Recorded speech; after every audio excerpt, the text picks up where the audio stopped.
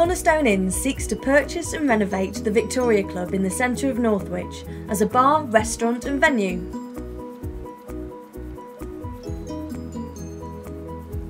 We wish to cater for those looking for a relaxing, safe, quality place to eat, drink, socialise, and be entertained. Northwich desperately needs this. There is a real shortage of positive public environments to bring the community out of their homes.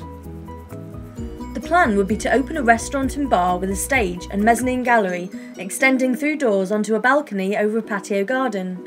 The walls would be packed with local art and history. There would even be a walled courtyard with a stage off the restaurant.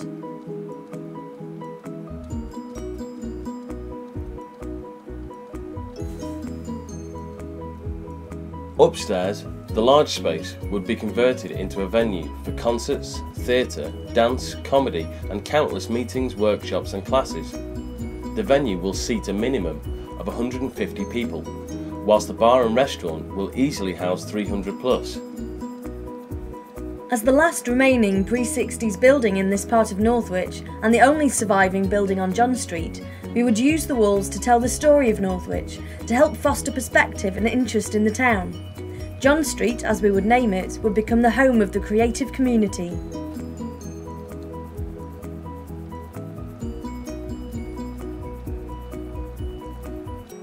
An arts heritage centre with a bar and restaurant can only have a positive effect on the cultural identity of Northwich.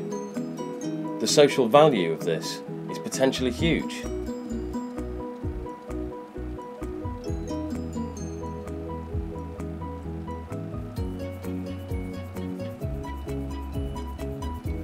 John Street. Eat, drink, and be entertained.